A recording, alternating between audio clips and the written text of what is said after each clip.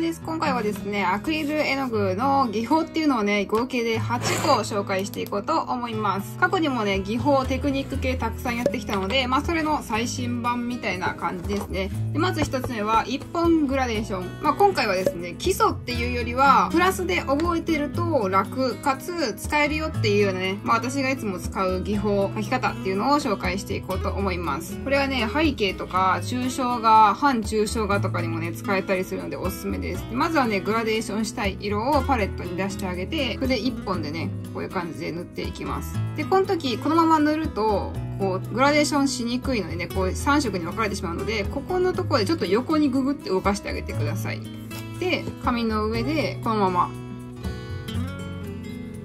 はい、綺麗。はい、綺麗。ちょっと水が少なかったんですけど、こういう感じでね、筆1本でグラデーションができると。これもね、もっとあの幅が広い筆とかでやってあげると、よりね、こう分厚い線がかけて綺麗な感じにできます。はい、じゃあ2つ目、カサカサ筆って書いてるんですけど、これもね、よく使う方法。まずはね、その通り水を一切つけてないカサカサの筆を用意します。こういう感じで、こうトントンって書いていく感じですね。まあ、もちろんね、水で濡れてる筆でもいいんですけど、カサカサの場合、こうふわふわなものを書いたりとか、あと木とかですね、葉っぱとか木描いたりするときにかなりね、役立ちます。上から明るい色を置いてもいいし、白とか置いても綺麗になりますね。で、今回はね、こういう形の筆したんですけど、もっとね、細い筆とかでも綺麗にできたりします。色もね、たくさん混ぜていいと思いますね。こう上からね、白を置いてあげたら、こう立体感が出たりするし。あと鳥かな？鳥の羽描いたりするときも使ったりするかも。ほい、こういう感じ。アクエル絵の具のね、基礎編とか、まあ、あとこの透明水彩バージョンとか、コピックバージョンとかはね、概要欄貼っておきますので、他のね、画材でいろんな技法が知りたいぜっていう人はね、ぜひ概要欄見てみてください。次、綿棒。綿棒を使っていきます。こういう感じで綿棒でね、こで混ぜて線引いても面白いし、こうポンポンポンってしてあげても面白いですね。最近だったら私、クジャクの絵を描いたんですけど、あのクジャクのね、絵の尻尾羽の部分は綿棒を使ってます。グラデーションになった丸、円っていうのがすぐね、描けるので、おすすめ。1本使いでもいいし、もっとね、2、30本使って描いてもいいし、あと花びらとかね、1枚1枚描いたりするときも綿棒の方がね、早かったりするので、結構おすすめです。描きやすい、これは。しかもね、ちっちゃい丸がいっぱいできるんで、なんかね、可愛らしいポップな印象になりますね。でトントンするたびにこう、色が混ざり合ってくれるので、この辺のね、楽しさもありますね。はい、次、隣、スポイト。まあ、これはね、めちゃめちゃよくやる方法ですね。はい、まず絵の具ちゃんをこう水多めで溶いてあげて、まあとはスポイトで吸ってここに出すって感じ。でちなみにね使ってるスポイトはこれあのダイソーさんの100均のスポイトです。でコツとしては水をね多く入れすぎないことですねスポイトに。こう水をギューって絵の具をねグワーっていっぱい入れちゃうともうそのままねビチャってなるんでちょっとカスカスめ。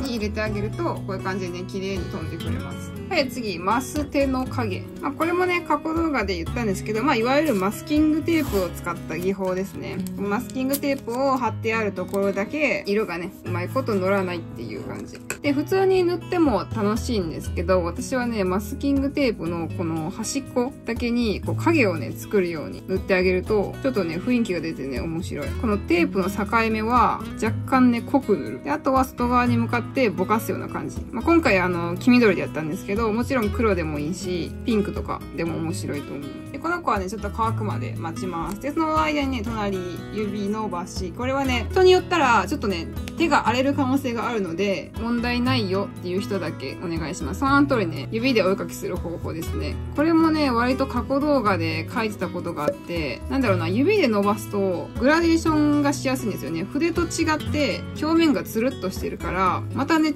たタッチができると。ちょっと霧みたいな感じ。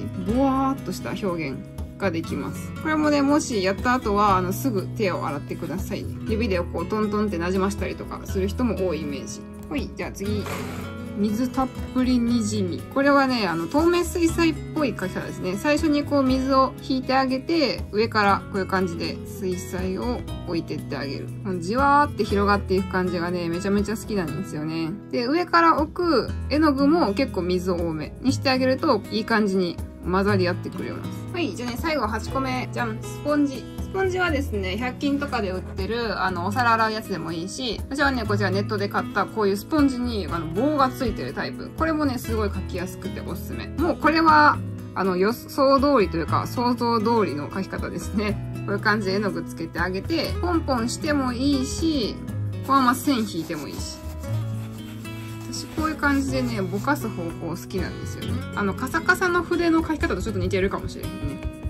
ただ、筆よりもこっちの方がね、きめ細かいので、よりこう、ふわっとした質感になる感じ。この上からね、蛍光色とか入れても絶対可愛い。ほら、合わせ技で、この上からポイント垂らしたりとかしても可愛い。夜空とかめちゃめちゃ描きやすそうですよね、これ。はい、じゃあマスキングテープ取って、こういう感じ。これもね、あの、今回ちょっとこれだけで短いんですけど、もっと長くしてもかっこいいし、こう十字とかにね、マスキングテープを重ね合わせてもいい感じにできると思います。はい、そんな感じで、ね、今回はめちゃめちゃサクッと紹介したんですけども、アクリル絵の具の技法たちでした。まあ、基礎というよりも覚えておいたら便利かなっていうような書き方ですね。はい、そんな感じです。他にもね、たくさん書き方とか画材レビューやってますので、気になる人はね、ぜひチェックしてみてください。じゃあ、画力上げていくために一緒に頑張っていきましょう。バイバイ。